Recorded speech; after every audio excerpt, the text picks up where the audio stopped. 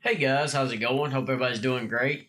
So I decided to do something a little different with this project. I was going to make a custom duck call, but I really needed to be able to stabilize the wood for the call as with duck calls they're used in a wet environment and a lot of times in water and it's they just get wet a lot.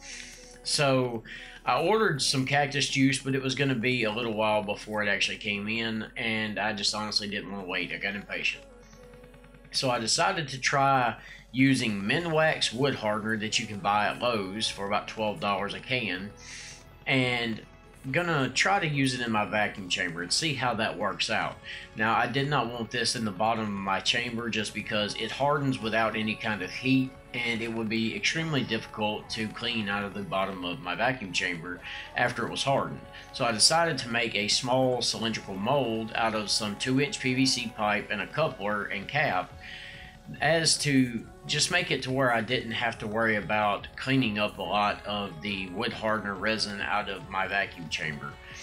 It was just something I didn't want to have to deal with. Now the mold is just a 2 inch piece of PVC cut to about 10 inches long, a coupler added to the end with some PVC cement, and I just tighten on a cap at the end so it would be flat and also removable just in case I needed to clean it out or be able to remove any of the liquids inside the tube for some reason. Now it was just as simple as adding the wood which was spalted gumwood and the hardener. And after that, just pretty much putting it in the vacuum chamber letting it do its thing until all of the air bubbles had stopped and let it dry for 24 hours. After it had cured for the 24 hour period, it was time to get to making the epoxy mold. I decided to use some Lexan and it was really simple, cut it to shape and just fill in all the seams with some hot glue. After finishing up the mold, it was time to start mixing up the epoxy. Now I used about 8 ounces of this Total Boat epoxy and some purple and pearl Pearl Ex pigments. Now I custom mixed these and I just kind of added the pigments as I thought was needed. Um, I, I, don't use measuring for my pigments. I go until the color is where I want it and and just how I like it. That's how I mix my colors. That's why there's always a little variation, but that's also what to me makes them unique. And now time for my favorite part, the pour. Maybe.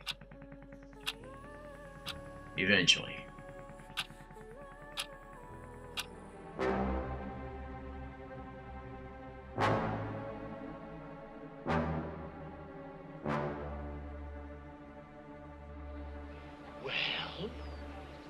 we're waiting.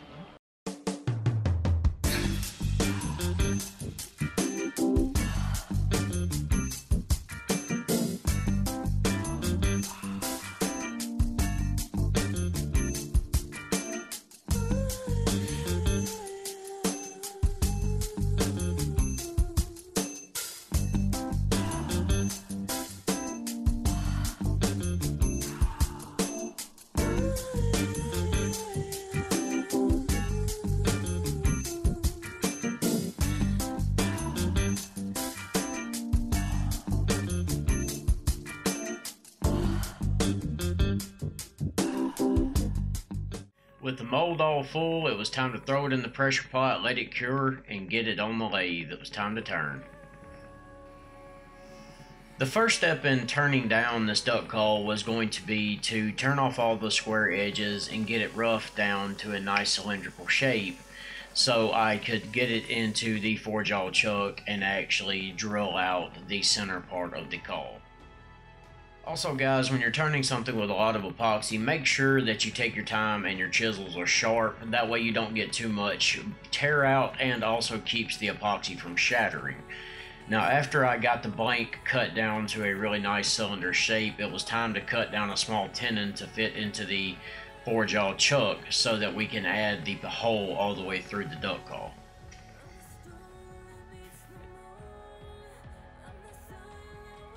This point, I drilled out a 5 8 inch hole all the way through the cylindrical blank. Now most duck calls have a decorative steel ring on the end where the insert goes. So the first thing you have to do when installing one of these is actually narrow down the blank so the ring can fit on snugly. Now don't try to do this in one pass. You just make multiple passes with light cuts and keep checking until the ring fits extremely snugly on this. That way you have a little bit of room left so when you sand it still fits snugly and when it's glued on it's good and in place. Now after that you pretty much only have to mark your width of your ring and your depth is already set by the previous cut you just made. After getting your width marked, it's just as simple as using the parting tool to actually cut down that section of the blank just so you have enough width for the ring to fit on and fit flush with the end.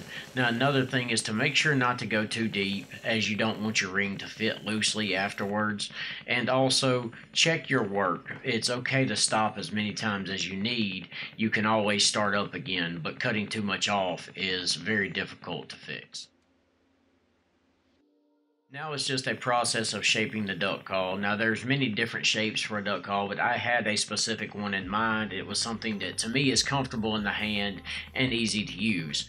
So I took my time and kept checking my work, going back and forth, making sure to not cut things I did not mean to. After that, it was on to the sanding. I started with 80 grit and then to 180 grit just to get everything roughed down and smoothed out after the 180 grit, I started wet sanding with 400 grit, then to 1000 grit. And then after the 1000 grit, moved on to micro mesh, going from 1500 grit progressively to 8000. The entire way making sure to keep adding water as it cleans off the pads and make sure that your sandpaper doesn't get clogged and scratch up your surface. And it also makes the cutting much, much easier. After finishing up with the 8000 grit micro mesh, it was time to add the finish. I was going to use a CA glue finish on this particular call as I wanted a super high gloss and very durable finish. I wanted it to come out almost like a glass top finish, making sure to hit the ends as well as the top with the CA glue before I used a little activator just so it would pretty much instantly harden. Now this is a stick fast CA glue finishing kit I ordered off Amazon. There will be a link in the description if you guys are interested in using this particular finishing kit. Great thing about these CA glue finishing kits is that they're instantly ready to start finishing out and sanding. So I started back with some 8000 grit micro mesh and worked my way from 8000 grit all the way up to 12000 grit. Now with this, Never let your micro mesh or your sanding pad sit still for too long as it will go through the CA glue finish and you'll have to start the process all over again. Also, I enjoy the wet sanding process. To me, water makes this cut very, very cleanly and so much better than just trying to do a dry sanding process. So I also suggest keeping the pad really moist, adding water pretty often. You don't have to keep it just fully saturated, but pretty often adding water and always moving the pad back and forth as you don't want to cause any damage to your finishes. But this micro mesh up to 12,000 grit on a CA glue finish just gives this awesome glass-like appearance once it's finished out and you're done sanding. It is extremely glossy without any other processes alone. So once it's done with that and you head over to polishing, it just pops and becomes this amazingly beautiful high gloss finish that's extremely durable.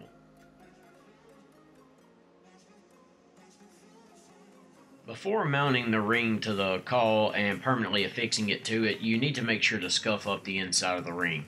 Now this just gives the glue or epoxy or whatever adhesive you use just a little better gripping surface on the inside of the ring to your call. You can just add a little bit of CA glue to the end of the call and I didn't want it spilling over onto the finished surface so I cleaned up a little bit of it. I didn't want a whole lot and then sprayed a little bit of activator to the inside of the ring itself. So once you push the ring onto the CA glue, it instantly cures and it's on there for good.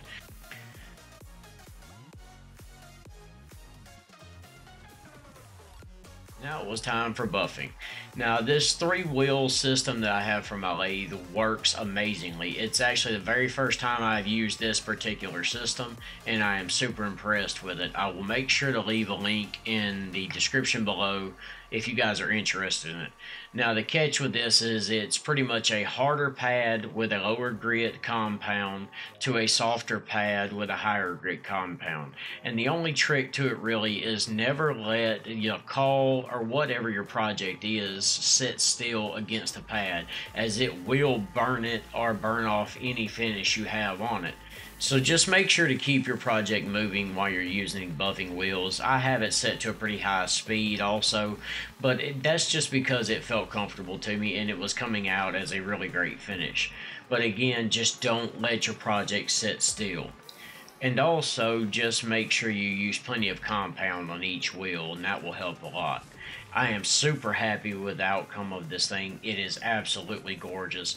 And if you guys are interested in ordering one of my calls, make sure to check out my Instagram page at jpayne woodworking where you can PM me and order one. And everything I've used in this video will have a link down in the description. So I hope you guys enjoyed it and I'll see you guys later.